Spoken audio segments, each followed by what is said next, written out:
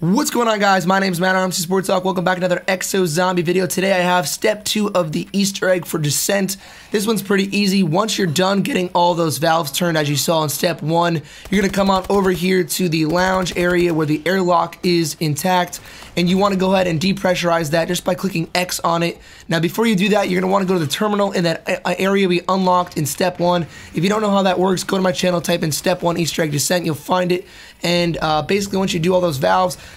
press the terminal, you're gonna be able to go and depressurize this area over here. It takes a couple minutes, I would say about 30 seconds to a minute.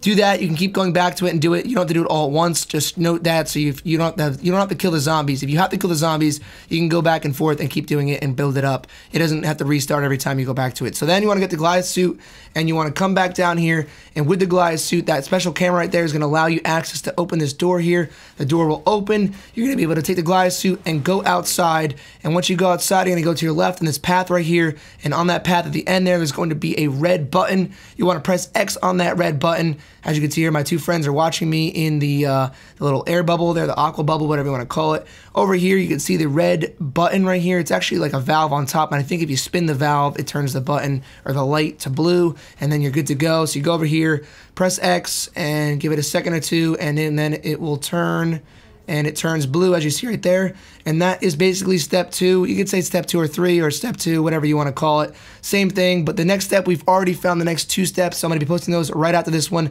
Stay tuned for the Easter egg. We're going really hard with it. We're doing really well right now. We're pushing along fast. So make sure you guys subscribe for that and make sure you like the video and share it so everyone knows how to do it as well. Thanks, guys. Peace.